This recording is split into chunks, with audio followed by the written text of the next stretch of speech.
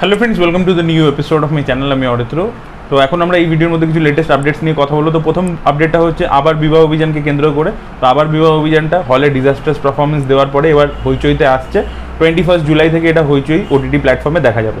দ্বিতীয় আপডেটটা হচ্ছে চোলাই বলে একটি বাংলা ছবিকে নিয়ে। তো এই ছবিটা যখন রিলিজ করেছিল, এই ছবিটা তখন ব্যান করা হয়েছিল ছবিটাকে। শাশ্বত চট্টোপাধ্যায় এখানে লিড চরিত্রে রয়েছেন। এবং এটা অরুণ রায়ের ছবি, যার বাঘাযতীন বলে ছবিটা আসছে। তো এই ছবিটা এখন কিন্তু অ্যামাজন প্রাইমে চলে এসছে। তো আপনারা চাইলে অ্যামাজন প্রাইমে ছবিটা দেখতে পারেন। পরবর্তী আপডেটটা হচ্ছে বিধু বিনোদ চোপড়াকে কেন্দ্র করে। তো Bidhu Vinod Chopra as a director আবার কামব্যাক করছেন। তার একটি ছবি তিনি বানাচ্ছেন, যার নাম হচ্ছে টুয়েলথ ফেল বলে। এই ছবিটার প্রোডাকশনে তিনি জি স্টুডিওর সাথে আর কি যোগদান করেছেন এবং ওয়ার্ল্ড ওয়াইড রিলিজ করবেন ছবিটা। এটা অনুরাগ পাঠকের লেখা বেস্ট সেলিং নভেল টুয়েলথ ফেলের ওপর বেস করে হতে চলেছে। জয়াম রবি এবার একটা প্যান ইন্ডিয়া ফিল্ম করতে চলেছেন। ছবির নাম হচ্ছে জিনি এবং এই ছবিতে মিউজিক দেবে এ আর রহমান পরবর্তী আপডেটটা শাহরুখ খানকে কেন্দ্র করে, তো তার আপকামিং দুটো ছবি, জাওয়ান এবং ডাঙ্কি দুটো নন থিয়েট্রিক্যাল রাইটস নিয়ে কথা বলব।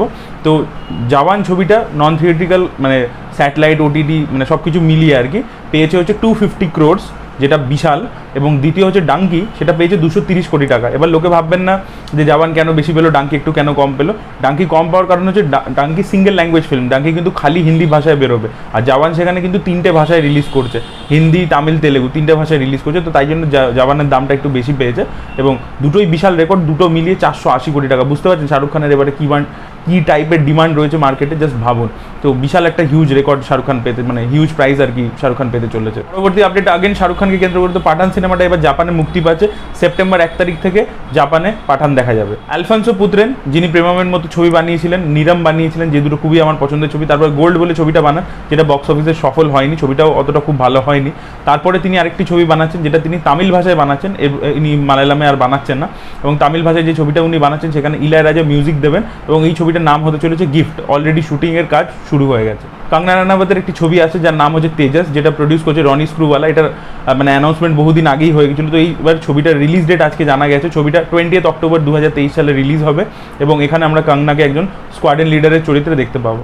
কৃতি স্যানান নিজে প্রডিউসার হয়ে গেছেন এবং তিনি প্রথম যে ছবিটা করছেন সেটা ওডিটিতে মুক্তি পাবে এবং সেখানে লিড চরিত্রে আমরা কৃতি স্যানান এবং কাজলকে একসাথে দেখতে পাবো। দিলওয়ালের পরে তারা একসাথে কোলাবোরেট করছেন এবং এই ছবির স্ক্রিপ্ট লিখবে কানিকা ঢিল ছবির নাম হতে চলেছে দোপাত্তি এবং ছবিটা ডাইরেক্টলি নেটফ্লিক্সে স্ট্রিম হবে। সুবিন্দার বিকি এবং বরুণ শক্তি একসাথে একটি ওয়েব সিরিজ করতে চলেছেন, যেটা প্রডিউস করবে ক্লিন সেট এন্টারটেনমেন্ট মানে অনুষ্কা শর্মার ভাইয়ের প্রোডাকশন হাউস তো এবং তার ট্রেলার কালকে আসবে, এই শোটা নেটফ্লিক্সে আসার কথা আছে। ডিসেম্বর মাসে আমরা বিশাল বড় একটা ক্ল্যাশ দেখতে চলেছি বক্স অফিসে মানে বেঙ্গলি বক্স অফিসের কথা বলছি। একদিকে দেবদা পরান্দা রয়েছেন তাদের ছবি আসছে প্রধান। অন্যদিকে মিঠুন চক্রবর্তী, যিনি লাস্ট একটা বিশাল বড় হিট ছবি ডেলিভার করেছেন, তার ছবি আসছে কাবুলিওয়ালা। সেখানে একটি চরিত্রে আমরা আবির চট্টোপাধ্যায়কেও দেখতে পেতে চলেছি, আজকে রিপোর্ট চলে আসছে। তো মিঠুন চক্রবর্তী, আবির একদিকে, আরেকদিকে পরাণ বন্দ্যোপাধ্যায় এবং দেব। দেখা যাক এই ক্লাসটা কে যেতে এবং তার সাথে সাথে শোনা যাচ্ছে যে কাবুলিওয়ালা এই ছবিটার মধ্যে আমরা সৈনিকেও দেখতে পেতে চলেছি। শাহিদ কাপুর, আনিস বাজমির সাথে একটি অ্যাকশন কমেডি ছবি করছেন, এটা আপডেট আপনাদেরকে আগেই দিয়েছিলাম। তো এই ছবির মধ্যে আমরা শাহিদ কাপুরকে ডবল রোলে দেখতে পাবো। এবং এই ছবির রিলিজ ডেট সম্পর্কে জানা গেছে। ঈদ দু হাজার চব্বিশ সালে এই ছবিটা মুক্তি পাবে। এই ছবিটা এই বছরের শেষের মধ্যে কমপ্লিট হয়ে যাবে শুটিং ইত্যাদি এবং ঈদ দু হাজার চব্বিশে রিলিজ করবে। তার মানে শাহিদ কাপুর ভার্সেস কার্তিক আরিয়ান আমরা বক্স অফিসে ক্ল্যাশ দেখতে পেতে চলেছি।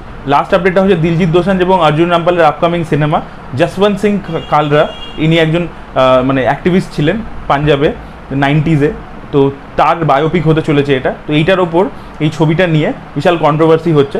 অলরেডি আর কি আর এস মানে রনি স্ক্রুওয়ালা এটার প্রডিউসার তো এটা মানে সেন্সারের কাছে গেছিল ডিসেম্বর মাসে বাট তারপর থেকে তারা কিছু জানাচ্ছিল না, তাই তারা হাইকোর্টে অ্যাপিল করে।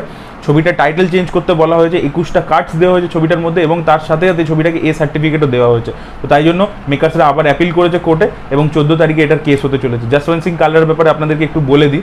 উনি যেটা বললাম যে অ্যাক্টিভিস্ট ছিলেন পাঞ্জাবে, তো নাইনটিজে পাঞ্জাব ওয়াজ আনস্টেবল স্টেট সেই সময় প্রচুর কিলিংস ইত্যাদি হচ্ছিল। অ্যাকচুয়ালি অপারেশন ব্লু স্টারের পর থেকে ইন্দিরা গান্ধী মারা যাওয়ার পর থেকে পাঞ্জাব পুলিশ প্রচুর ফেক এনকাউন্টার্স করেছে, প্রচুর সাধারণ লোক মানে যাদের আনআর্মড লোকেরা তাদেরকে মেরে এনকাউন্টার করে তাদের হাতে বন্দুক অব্দি ধরিয়ে দিত। তো সেইটার ওপর আর কি একটা কেস উনি ক্র্যাক করেছিলেন, যেখানে উনি বলেছিলেন যে পঁচিশ হাজার লোককে এরকম মানে লোকেদেরকে, যাদের কোনো দোষই নেই, এরকম লোকেদেরকে পাঞ্জাব পুলিশ গুলি করে মেরে ফেলেছে।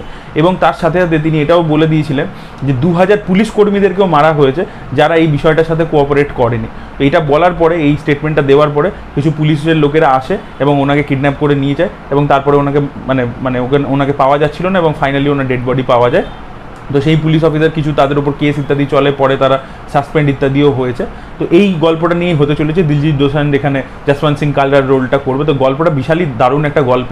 ওই সময় পাঞ্জাবের গল্প আমরা মাচিজের মতো ছবির মধ্যে দেখেছি। দেখা যাক কীরকম হয় এই ছবিটা এবং আলটিমেটলি এর কেস ইত্যাদি সব কিছু সলভ হয় কিনা। নাকি ছবিটা হলে আসে, নাকি ওটিটিতে যায়, সেটাই দেখার মতো বিষয় হবে। সো দিস ব্যাতে আপডেট গাইজ আপনাদের কি বক্তব্য অবশ্যই কমেন্ট সেকশনে জানাবেন। এই ভিডিওটা ভালো লেগে থাকলে লাইক করুন শেয়ার করুন চ্যানেলকে সাবস্ক্রাইব করতে ভুলবেন না। Bye bye